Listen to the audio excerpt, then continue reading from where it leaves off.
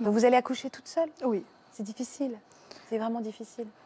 Ça a été difficile, mais vu que mon choix était de l'abandonner, je me suis dit que c'était sûrement la meilleure des solutions pour moi à ce moment-là. Mais heureusement, je suis très bien encadrée par l'équipe médicale. Je n'ai jamais été seule. Jamais.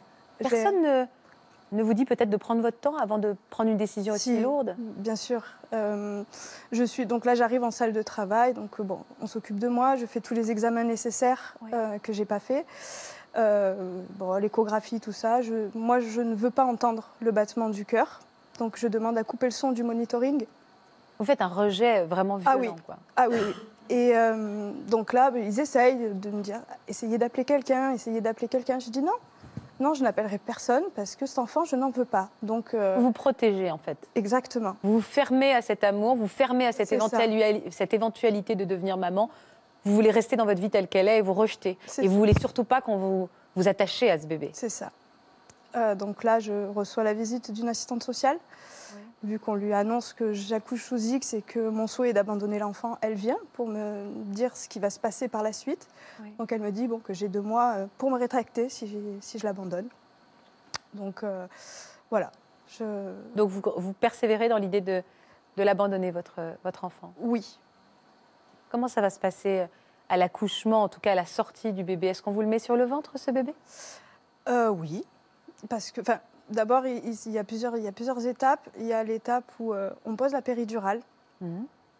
Et là, à la péridurale, bon, ben, moi, je redescends un petit peu en pression parce que de toute façon, bon, toute l'équipe qui était là, soignante, m'ont quand même fait euh, prendre conscience que si je n'en voulais pas, c'était mon choix, mais que dans tous les cas, il fallait quand même accoucher.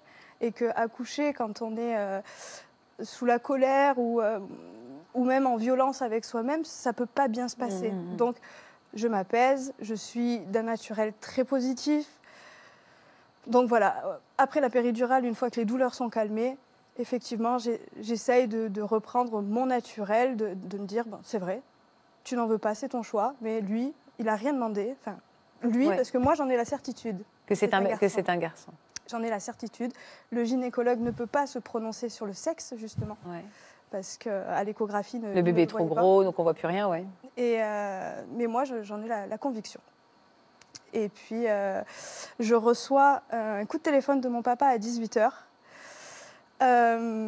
qui s'inquiétait forcément. J'étais partie dans la nuit, euh, pas de nouvelles de moi à 18h. Bah, il s'inquiète, je réponds. Et là, je lui dis un truc, pour moi, je le rassurais, mais en fait, pas du tout. Je lui dis Oui, ne t'inquiète pas, je suis à l'hôpital. Ils ont trouvé ce que j'ai. Je te rappelle demain. Et voilà. Ah bah c'est super pour votre père. Super, c'est euh, super. Qu'est-ce qu'il a fait? Il a, il, a, il a débarqué tout de non, suite, non? pas du tout. Il a réussi à, il, a, il a à contenir sa curiosité et respecter votre choix de ne pas vous en dire plus, C'est ça. de ne pas lui en dire. Et euh, 18h15, après le coup de fil de mon père, j'appelle l'équipe médicale, je dis c'est maintenant, j'accouche. Et puis euh, j'ai accouché. Et votre petit monsieur, Oui, qui était donc un petit garçon, c'est ça. est venu au monde. Oui. Qu'est-ce que vous avez Alors là, j'avais, ben, quand j'ai entendu son premier cri, j'avais quand même deux options de le mettre, d'aller en maternité ou d'aller dans le secteur isolé, en fait, où on n'est pas avec nos enfants. J'avais le choix. On me l'a, on me l'a proposé le choix. Et au début, pour moi, c'était j'allais en secteur isolé. Et puis, ben, quand il est né, et ben, subitement, je leur ai dit non, c'est mon fils. Ah, la magie de l'instinct maternel. Mais